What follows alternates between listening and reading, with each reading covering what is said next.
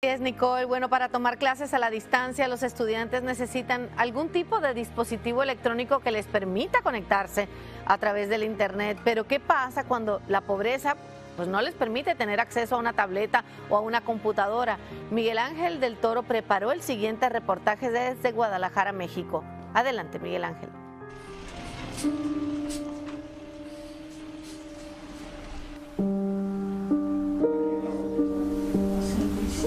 Sentados en la misma mesa donde comen, tratando de aprovechar el pequeño espacio que lo rodea, Josué y sus hermanas toman clases, porque la pobreza en la que viven les impide tener una computadora.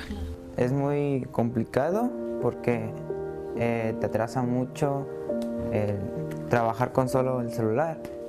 Con el rostro lleno de desesperación, su madre trata de apoyarlos. Les presta su celular para que con papel y lápiz hagan sus anotaciones, pero a pesar de su esfuerzo, su método, dice, resulta insuficiente. Yo tengo tres hijos y pues de esos tres nomás tenemos dos celulares, ¿verdad? Y está difícil.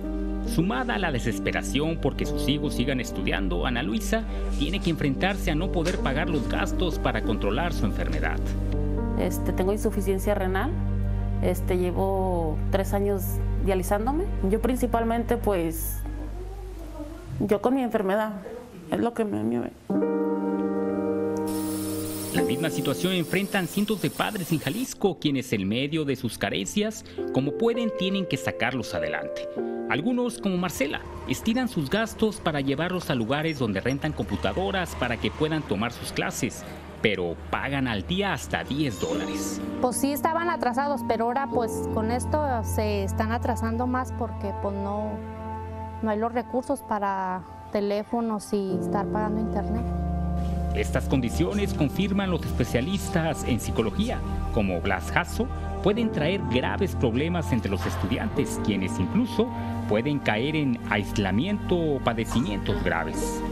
Y le afecta, claro, en su, en su autoestima y por supuesto, una persona que tiene lesionada la autoestima el paso que sigue es la depresión. Y es que de acuerdo con el Colegio de Psicología de Jalisco, cerca de 400.000 estudiantes no tienen acceso a una computadora o internet, por lo que todos ellos se quedarán sin poder abrir los libros. Y al momento de regresar hay dos acciones indispensables que tenemos que realizar, una valoración del estado psicoemocional de los alumnos y una valoración del avance en los aprendizajes. Y bueno, mientras unos eh, sí cuentan con una computadora para estudiar a distancia, otros no. Ahora solo se espera pues, que las autoridades de educación den una solución a todos estos jóvenes que no tienen esta oportunidad. Desde Guadalajara, Jalisco, Miguel Ángel del Toro, un nuevo día. Gracias, querido Miguel Ángel. Un abrazo fuerte y hay que buscar cómo romper esa brecha digital que hay y cómo puede el gobierno entonces ayudar eh, a toda la comunidad mexicana para que puedan tener algún tipo eh, de acceso, ya sea al Internet y al equipo que necesitan para poder conectarse a sus clases.